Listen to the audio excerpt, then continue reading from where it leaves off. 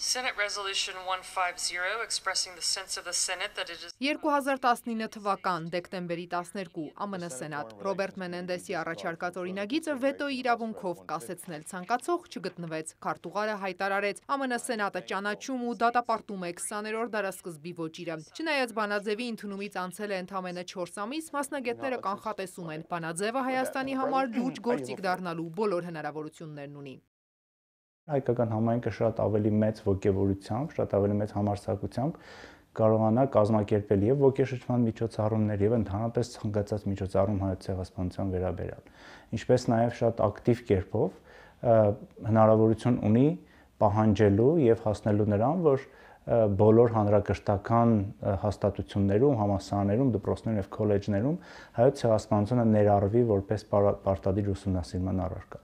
Ավելի լայն իմաստով իհարկե այս բանաձևը կարևոր է ժողովրդականության դեմ պայքարի առումով Աշխարհում հայոց ցեղասպանության ճանաչման հետագա գործընթացի վրա սենատի այս որոշումը նույնպես իր դրական հետքը կարող է թողնել։ ԱՄՆ-ն որպես ռազմական եւ քաղաքական թիվ 1 գերտերություն բնականաբար կարծիք ունի հայտնելու եւ այդ կարծիքը նա հայտնել է եւ Հայաստանը կարող է օգտագործել այն հայոց ցեղասպանության միջազգային ճանաչումը ավելի ընդլայնելու համար, որովհետեւ միշտ կա այս փաստարկը, որ եթե Թուրքիայի թիվ 1 դաշնակիցը ՆԱՏՕ-ում ԱՄՆ-ն ճանաչել է, ինչու ոչ այս կամ այլ այլ երկիր չի կարող այն այն, այն ճանաչել։ Արևմուտքից հետո հերթը արաբական աշխարհինն էր։ Միակ արաբական պետությունը, որը մինչև 2020 թվականը ճանաչել էր հայոց ցեղասպանությունը, Լիբանանն էր։ 2020 թվական փետրվարի 13 Սիրիայի արաբական հանրապետությունը դարձավ հայոց ցեղասպանությունը ճանաչած արաբական երկրորդ պետությունը։ Խորհրդարանը միաձայն ընդունեց հայոց ցեղասպանությունը ճանաչող ու դատապարտող բանաձևը։ Եթե Լիբանանի բարական մի քիչ կանխատեսելի էր քանզի Լիբանանը միակ արաբական երկիրն է, որի բնակչության զգալի հատվածը քրիստոնյաներ են, ապա Սիրիայի բարական մի քիչ այլ էր, հաշվի առնելով նախ այն, որ Սիրիայի բնակչության շատ չնչին հատվածն է քրիստոնյաներ, բացի դա Սիրիան Թուրքիայի հետ կապում էր բավական սերտ դաշնակցային հարաբերություններ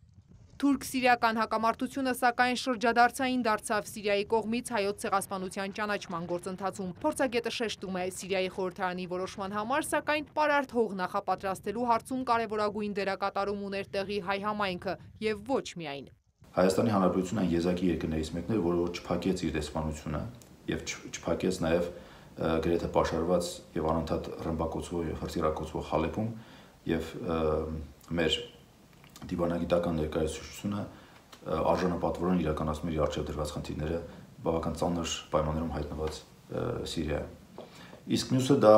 մեր հումանիտար առաքելությունն է։ Հայոց ցեղասպանության միջազգային ճանաչման գործընթացը Հայաստանի համար նախ եւ առաջ կանխարգելման քայլ է, օրեր առաջ հայտարարեց Հայաստանի արտգործնախարարը։ Զորապ Մնացականյանը շեշտեց, եթե ոչրագործը ենթադրում է, որ այդ ոչիրը կարող է մնալ անպատիժ, ուրեմն այն կարող է կրկնվել։ Սա է ճանաչման ամենակարևոր падգամը հավելեց Հայաստանի գլխավոր դիվանագետը։ Այսօր Հայաստանը փորձում է հայոց ցեղասպանությունը տեղավորել